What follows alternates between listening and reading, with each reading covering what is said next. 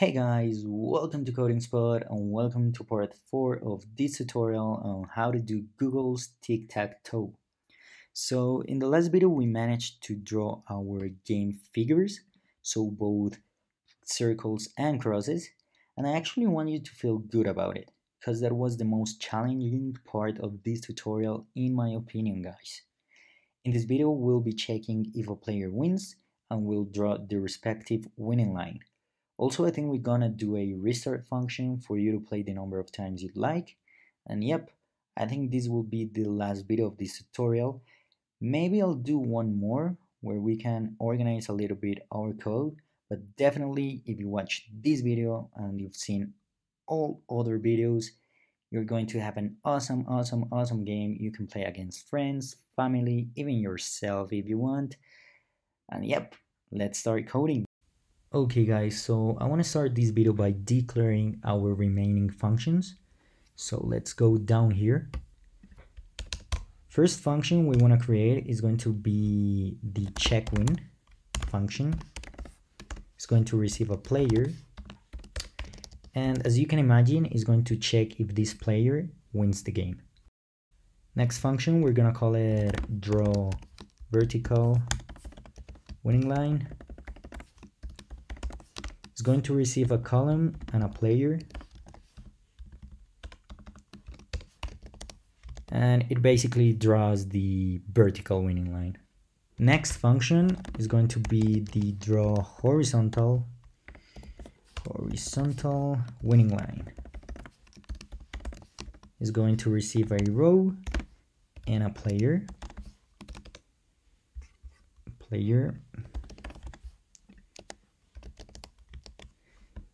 Um, we also want to create one for the diagonals. So draw, I'm going to call it ASC for ascending diagonal.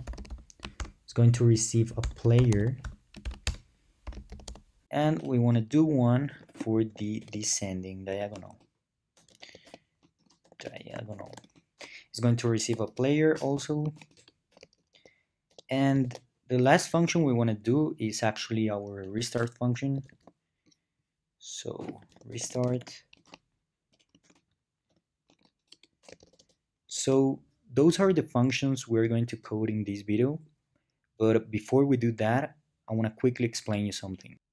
Okay guys, so I want to explain you how are we going to check a win and how are we going to draw its respective line.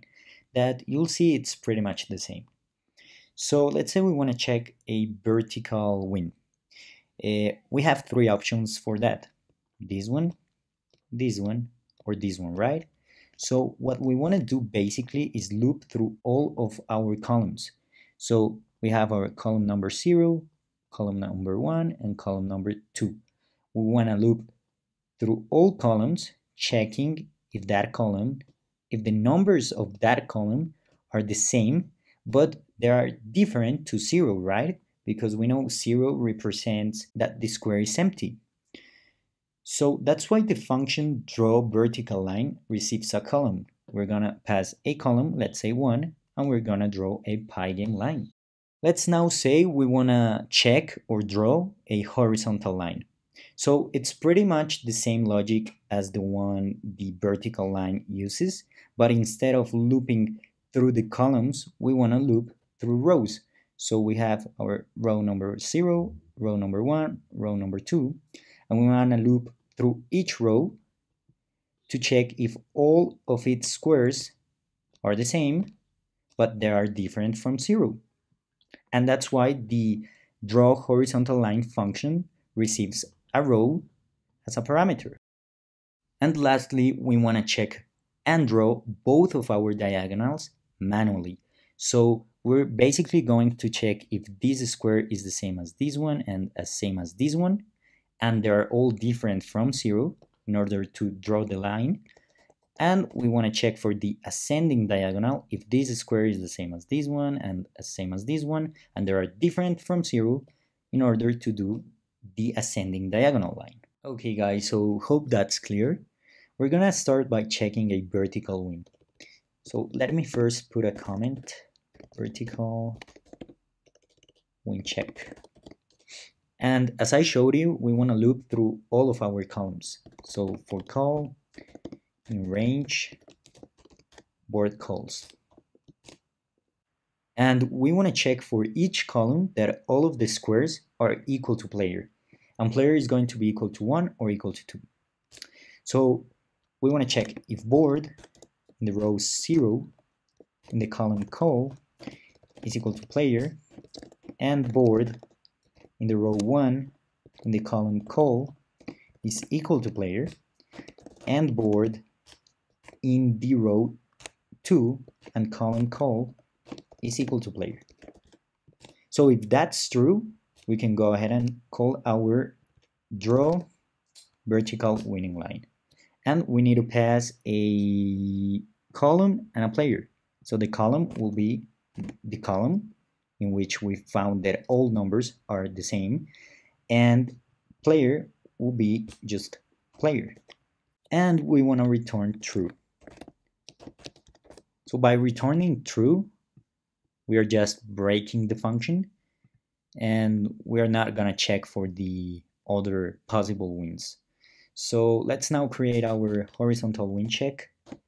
Let me put the comment horizontal win check and we want to do basically the same but instead of call we're gonna use row. So for row range board rows and we want to check if board in row column equal to 0 equals player and board in row column equal to 1 equals player and board in row and column equal to 2 equals player. So if this is true, we want to draw our horizontal winning line by passing our row and our player. And we want to return true. Let's now go and check our diagonals. So I'll start with the ascending one. So ascending diagonal win check and we want to do this manually. So if board in the row 2 and the column 0 equals equals player and board board in row 1 and call 1 equals equals player and board in row 0 and column 2 equals equals player we want to draw our ascending diagonal by passing the player. And we want to return true. Let's now go and check our descending diagonal win. So this one is the easiest. So it's basically board in 0 0 equals player and board in 1 1 equals player and board into 2 equals player. We want to draw our descending diagonal by passing player. And we want to return true as well. Okay let's now draw our winning lines but actually before we do that let's go ahead and return false right here. Because if we reach here it, it is because there's no win right Okay, so let's go ahead and draw our vertical winning line. So I want to start by saving in a variable our line's x position because as you know, as it's vertical, uh, x position is not going to change, right? So I'm going to call it pos x. And we want to type call times 200. And remember 200 is the square's size. And this multiplication is basically going to let us be right after the column we want to paint the line but we don't want to be after we want to be in the half. So let's go ahead and add a, square's half so that will be 100 and we have our position x. Now we want to check if player equals 1 and if player equals 1 we want to create a variable called color and set it equal to the circle color and if player equals 2 we want to set color equal to cross color So this will make our line the same color of our player, our player's figure. Now we want to create the line. So go ahead and write pygame.draw.line. We want to pass the screen. Then we want to pass our color. Then the starting position is going to be our position x, comma 15 more or less. And our ending position is going to be position x, comma the height of our screen minus 15. And the width we are going to use 15 more or less. And we have our vertical line ready. Okay, let's now complete our draw horizontal function. It's actually pretty similar to this one. So let's go ahead and create our pos y variable instead of the pos x. And let's type row times 200 plus 100. And again, we want to check if player equals 1 to set color equal to circle color. And we want to check if player equals 2 to set color equal to cross color. Now let's go ahead and type pygame.draw.line. We want to pass our screen, our color. For starting position, we are going to put 15, so same 15 than here, and pos y. And ending position is going to be the width minus 15, comma, pos y. Pos y width is going to be uh, also 15 and it's done we have our draw horizontal winning line function. Okay let's go ahead and complete our draw ascending diagonal. Uh, I'm gonna copy this because we'll need it. Go ahead and paste it.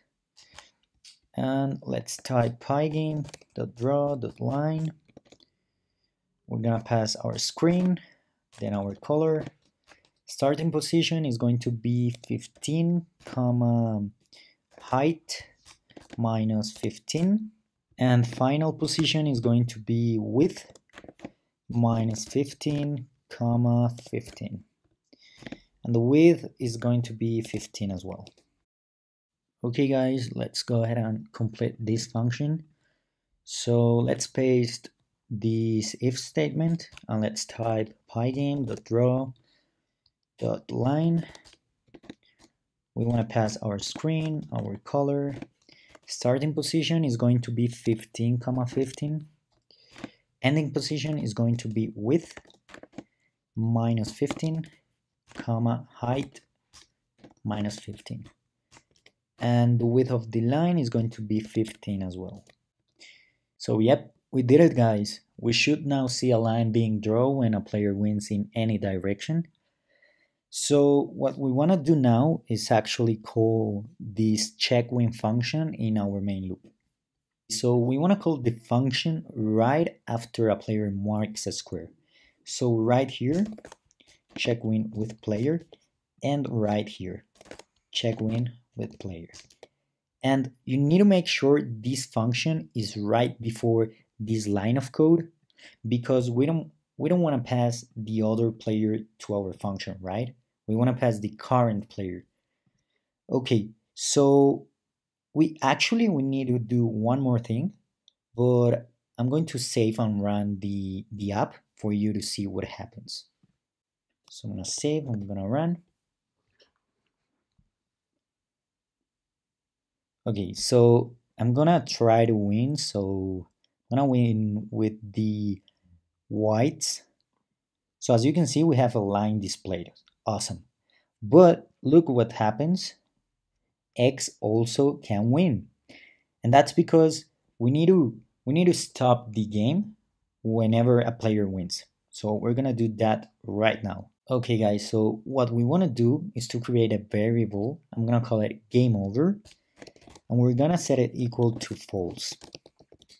I'm gonna call it like this, but you can call it however you want. And we need to set this variable to true whenever a player wins. So we're gonna go here and we're gonna put if check win, because remember these returns true or false depending if the player wins. So if check win player, uh, we want to set our game over variable to true. Right here, we're going to do the same. Game over equals true. And now what we have to do is go right here to this if statement and put and not game over. So basically, we just coded that when a player wins, the game over variable is going to be set to true. And if the game over variable is equal to true, we cannot enter this if statement because not true will be false. And as you know, anything false is not gonna execute. So basically, we will stop um, the game. So let's go ahead and run for you to see it. Okay, so I'm gonna do what I did last time. I'm going to win with circles. And I'm gonna try to win also with X. As you can see, I'm clicking right here and nothing happens. So that means we did it. And we're now doing the restart function. Okay, so let's quickly do this. The first thing we want to do is paint our background again. So screen.fill. We're gonna pass background color. Then we want to draw our lines. So we call our function. And we also want to set our player equal to one again and we want to make our console board full of zeros. So for row in range board rows and for call in range board calls board where is it? Board in the row and the call equals zero. So that's it. And now we want to call this function in our main loop Okay, and we want to do the following. So outside of this if statement, we want to type if event.type equals equals pygame the key down. So we're basically checking if the user or the player clicks a key. Now we want to check what key he pressed. So if event.key equals equals pygame.k underscore and literally you can choose whatever key you want. I'm gonna go with R because the function is restored. So if he clicks the R key, we wanna restart. We wanna call our restart function. And that's all. It's pretty simple. So go ahead and save and run. And I'm gonna try to, I don't know, I'm gonna do whatever. Okay, so I've made the board full. Now I'm gonna press R. And as you can see, we managed to restart our game. Go ahead and do it. You can do it whenever you want. So I can do it here or here. And it's correctly done, guys. We did it. Okay, guys, so I think it's the end of this video. I'm not sure if I'll be making a fifth part, but if I do, it will be only for organizing and refactoring a little bit our code. So nothing super important, just a video to make our code nicer. And yeah, I, I really hope you liked this video and learned something new throughout this tutorial. So if you did, please, please, please leave a like, comment, and subscribe if you haven't already, because there will be much, much more tutorials as this one, much more cool content. And yeah, I'll see you in the next video.